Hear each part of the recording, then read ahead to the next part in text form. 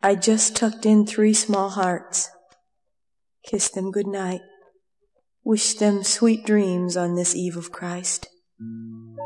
Watching the snow fall quietly through a breath fogged window, thinking a prayer for this year, for what I have, for being here, for what I want to be.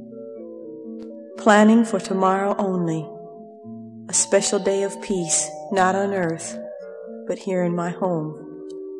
Looking back into the darkened room at my three, now deep inside themselves with their dreams of tomorrow, some of which will come true. Standing at the foot of the bed where a tiny round face, surrounded by strands of long blonde hair, a little arm tightly wrapped around her favorite teddy bear, lay silently, sleeping, wondering if those who have to pay for peace ever know what it's for knowing that some of them over there have this now, but haven't seen it yet, and may not.